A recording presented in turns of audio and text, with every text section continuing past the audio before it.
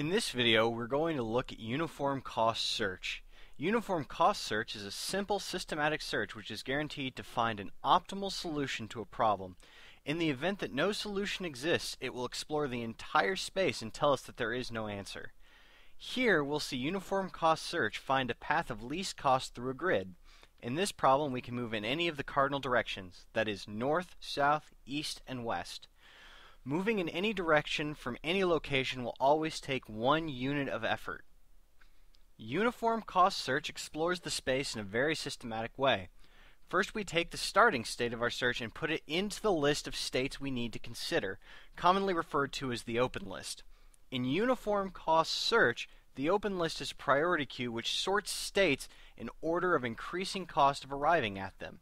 For example, a state which takes four steps to reach would appear in the queue after one which was reached in three, but before one which can only be reached in five. Uniform cost search always selects the state at the front of the open list when deciding which state to consider next.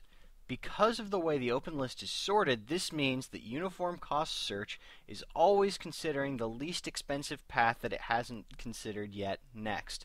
Eventually, this path will lead to a goal, if there's a path to the goal in the problem. Whenever the path leads to a goal, it is also the cheapest, or at least among the cheapest in case of ties, unexplored path. This means that solutions returned by uniform cost search are the cheapest solutions for the given problem. We say that these solutions are optimal. Before I show the search in action, I thought I'd point out a few important features of the visualization. Here we see the open list that I was talking about before. Currently only the root node, the uh, starting state, appears on the list, which is why it's so short. The title bar is currently labeled G. G is just shorthand for the cost of arriving at a given state. All of the colors in the visualization, including those on the grid itself and those on the open list, will relate to the G value of the current state for this video. Over here, we see a small color scale. It has the minimum and maximum values for the current feature, G, shown at the bottom and top respectively. We see that the colors shift from a very light yellow when the cost of arriving at a state is low to a deep red when the cost of arriving at a state is high. The area above the color scale shows important information about the search and about the node currently being expanded. Of particular interest is the expansion number shown here, this expansion number tells us something about the progress of the search. Also of interest are the location of the node currently being expanded and the cost of arriving at that location, shown here and here respectively. Here in the main area, we see the problem that we're going to be solving. We'll be navigating from the green square, shown in the upper left-hand corner here, to the blue square in the lower right-hand corner, seen here. Squares which are white are traversable, and the black squares represent impassable obstacles. So I've gone ahead and started the search now.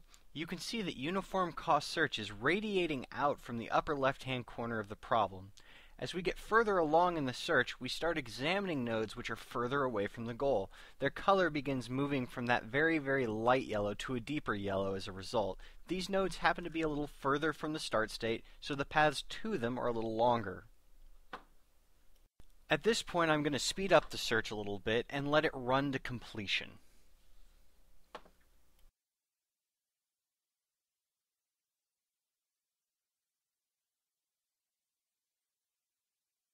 You can see how the search is expanding nodes in order of increasing G value if you look at the uh, node display area up here.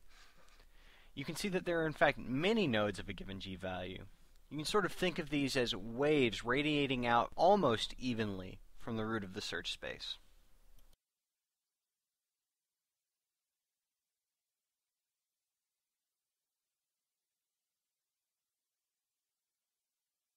These pockets of white are nodes which cannot be reached. They're completely surrounded by obstacles.